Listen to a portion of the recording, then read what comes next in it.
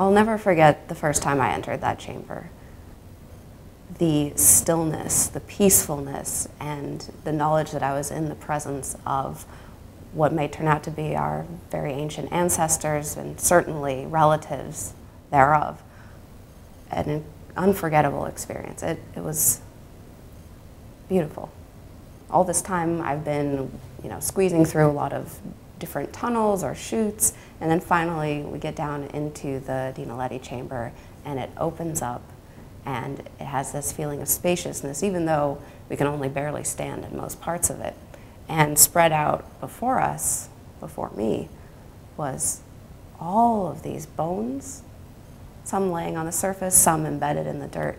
And it was just this beautiful field of research, literally.